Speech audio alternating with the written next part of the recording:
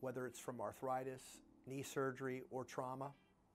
I use the kneecap stabilization brace. I found it it's most useful to help you recover from these conditions.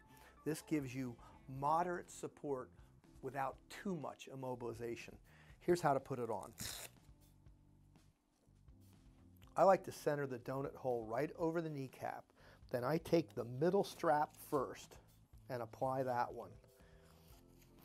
Then I'll take the bottom strap apply it like that, and then the top one.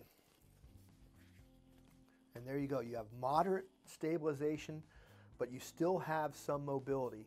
I like this knee brace for moderate injuries.